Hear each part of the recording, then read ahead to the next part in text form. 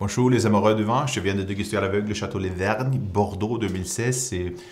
C'est, un Bordeaux, appellation générique, mais je pense que c'est très très bien fait parce que cette jeunesse et cette fraîcheur, il y a sans doute euh, les notes de Sauvignon Blanc avec euh, le côté d'agrumes, du citron vert. Nous avons la pomme verte et beaucoup de notes euh, floraux.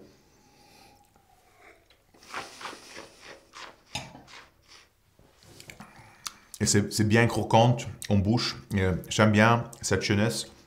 Euh, il y a toujours un peu de, gaz en dedans, mais ça ne me dérange pas. Ça, ça apporte beaucoup de fraîcheur et, euh, avec ces notes d'agrumes et une finale très fraîche et vivante.